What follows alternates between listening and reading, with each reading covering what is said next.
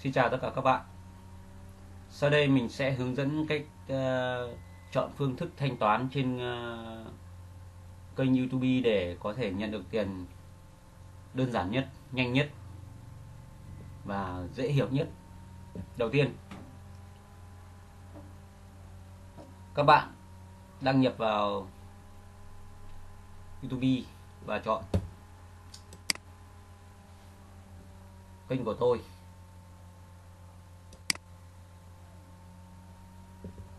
Sau đó các bạn bấm vào một cái video bất kỳ.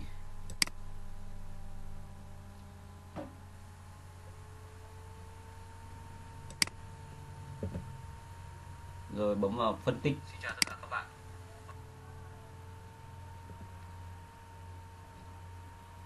Tiếp tục các bạn bấm vào kênh.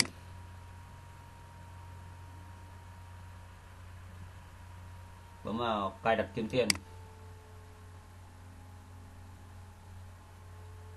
cài đặt kiếm tiền, sau đó các bạn chọn cài đặt Essence tại mục xem lại hoặc thay đổi.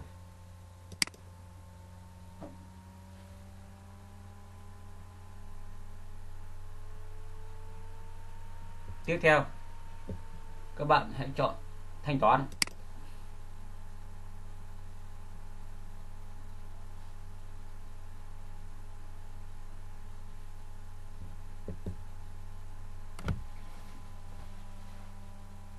Cách bạn nhận thanh toán.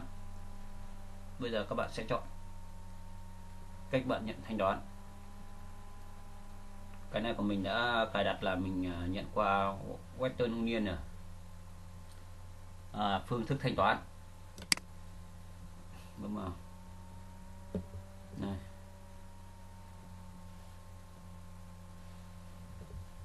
Chỉnh sửa thông tin này. Tên này cập nhật.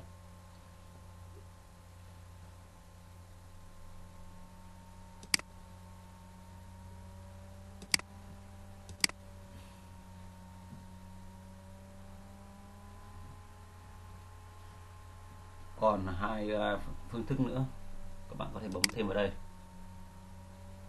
Đấy. chi tiết chuyển khoản qua ngân hàng, thêm chi tiết xét những cái này thì uh, phải uh, ra ngân hàng mới nhận được này. Đấy, hoặc các uh, tờ xét mới, mới mới cái này mình không chọn. Nó hình thức nó hơi rắc rối. Đưa ra các uh, bưu điện dịch vụ như bây giờ có của VNPT bưu điện và Viettel nhiều rất nhiều chỗ thanh toán bằng uh, Western Union.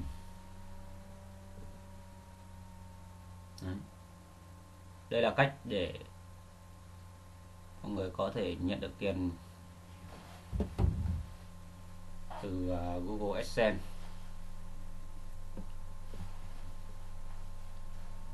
Chúc các bạn thành công. Nếu thấy hay Ờ, like, chia sẻ và nhận xét. Và đừng quên là đăng ký kênh của mình để có thể nhận được các video ờ, mới nhất từ kênh của mình. Xin chào và hẹn gặp lại các bạn trong các video tiếp theo.